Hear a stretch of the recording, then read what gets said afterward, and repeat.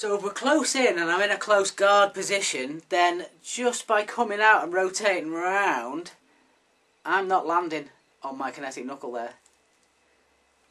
So this this motion is basically what you do in the gloves.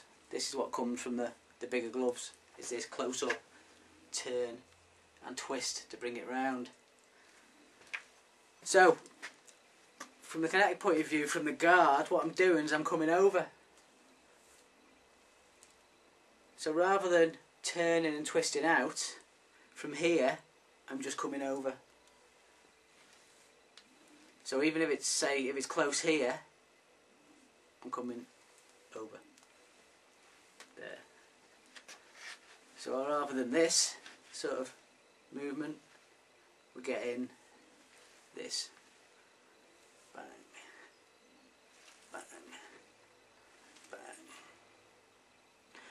So again with the boxing, what you're doing is you're changing the way you're punching from the shoulder to the knuckle. That tweaks the mechanics. That lines everything up and doubles the power over three rounds.